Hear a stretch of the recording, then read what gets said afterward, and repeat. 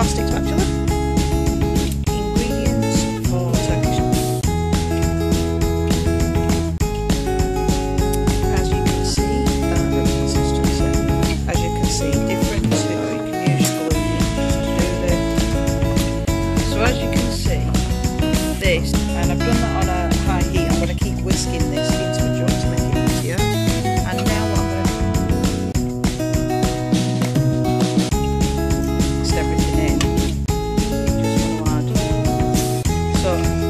added it all in now, and I'm just um, purposefully doing this on the small.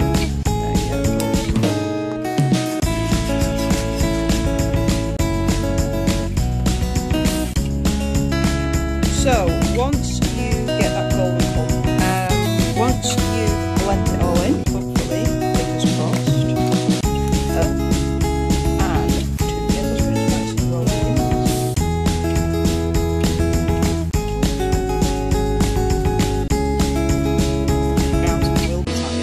but the end result